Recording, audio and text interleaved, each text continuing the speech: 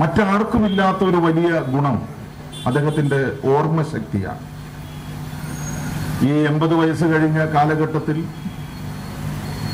ഉരുളയ്ക്കുപ്പേരി പോലെ മീഡിയ ചർച്ചകളിൽ ചാനൽ ചർച്ചകളിൽ അദ്ദേഹം ചാട്ടുളി പോലെ മറുപടി നൽകുമായിരുന്നു.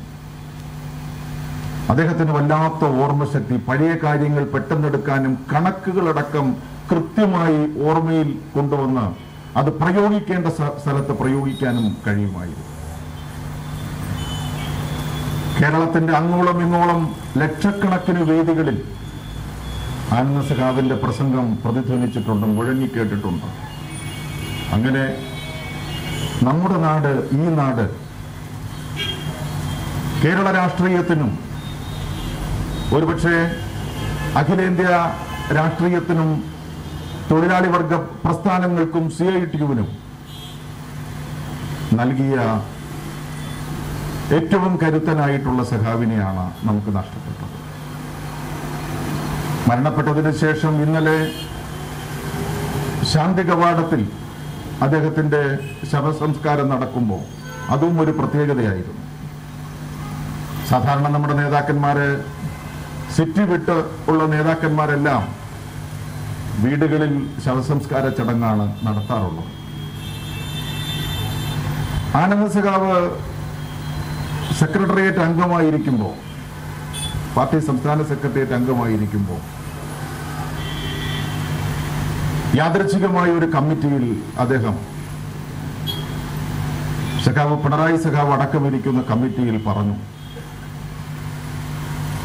എന്നെ ഞാൻ മരണപ്പെട്ടാൽ ശാന്തി കവാടത്തിൽ കൊണ്ടുവന്ന് അടക്കണം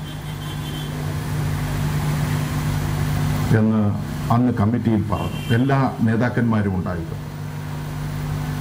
അവസാന സമയത്തായിരിക്കും ആ സഖാവ് കുടുംബാംഗങ്ങളോടും എന്റെ ആഗ്രഹം ഇതാണ് എന്ന് പറഞ്ഞു.